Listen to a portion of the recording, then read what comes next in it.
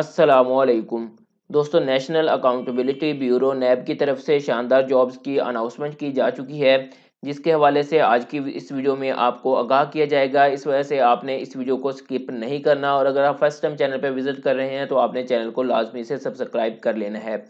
उसके बाद इस जॉब की डिटेल जानने और इसका एप्लीकेशन फॉर्म डाउनलोड करने के लिए आप सिंपल गूगल पर आएँगे और टाइप करेंगे jobs twenty four dot com जैसे ही आप टाइप करते हैं फ़र्स्ट पे वेबसाइट मिल जाएगी। सिंपली यहाँ पे क्लिक करके आपने इस वेबसाइट को ओपन कर लेना है। वेबसाइट को ओपन करने के बाद यहाँ पर गवर्नमेंट जॉब्स वाले सेक्शन में आपको नेशनल अकाउंटेबिलिटी ब्यूरो के नाम से ऐड मिल जाएगा। सिंपली वहाँ पे क्लिक करके आपने इस वेबसाइट को ओपन कर लेना है।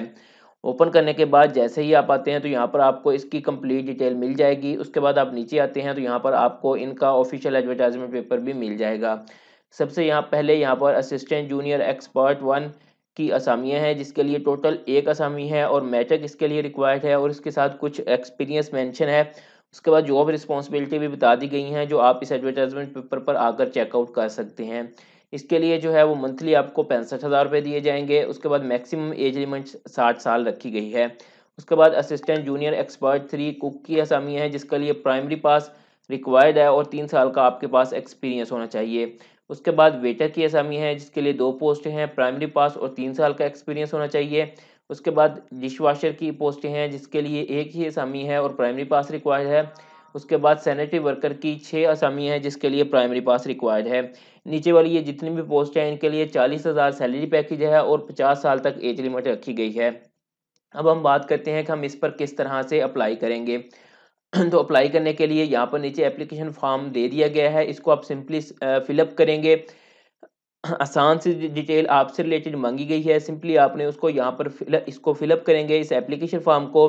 उसके बाद आपने इसके साथ कोई भी कॉपीज नहीं लगानी, ना कोई एजुकेशन अपनी अकेडमिक कॉपी लगानी है। एजुकेशन रिलेटेड और ना ही कोई एक्सपीरियंस की आपने इसके साथ कॉपी अटैच करनी है। विदाउट किसी भी डिटेल के आपने इसको सबमिट करवा देना है। और सबमिट करवाने की लास्ट डेट जो है वो तीन नवंबर 2023 है। सबमिट किस जगह पे करवाएँगे? वो यहाँ पर नेचर एड्रेस बता दिया गया है। Adnan Nadeem doctor D Y director ये जहाँ पर जो नैब हेड क्वार्टर शारज यहाँ पर जो है वो बता दिया गया है। शार जमहूरियत जी फाइव, इस्लामाबाद। इस एड्रेस पर आपने जो है वो इसको सबमिट करवा देना है।